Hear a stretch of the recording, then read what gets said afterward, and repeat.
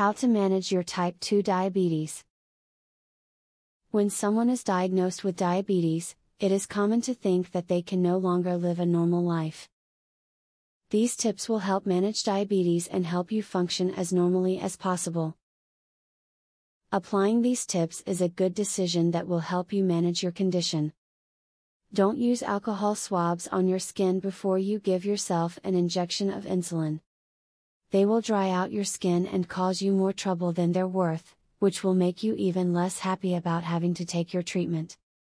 As long as you clean your skin with soap and water, you should be fine.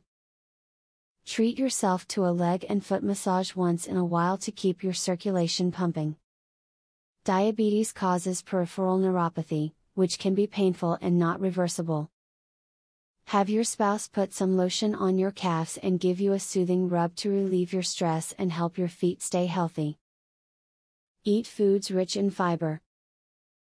By eating fruits, vegetables, and grains, you will improve your diet. You will lose weight and feel great. Fiber can help give you more control over your blood sugar and lower your chances of getting heart disease. Other sources of fiber include nuts, seeds, and beans. Watch the foods you eat if you are diabetic. Every type of food can have a different effect on glucose levels, so it is crucial that you monitor your food intake closely. Adapt your insulin injections to what you eat.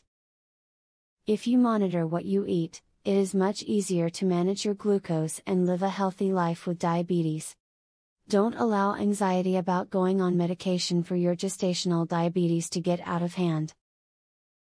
Keeping your diabetes under control is the most important thing that you can do for your baby right now. The diabetes can do far more harm than taking the safe medicines your doctor will prescribe. Talk the matter over at length with your doctor. This will alleviate your concerns. If you're having trouble keeping yourself to a healthy diabetic diet, don't change things up.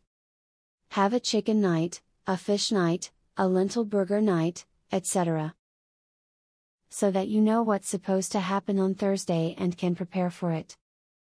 If you have something different every night, you will still have variation, but having a schedule will make you feel much less stress and you won't cave into temptation. A great before bed snack for a diabetic is a glass of skim milk with 2 tablespoons of whey protein added.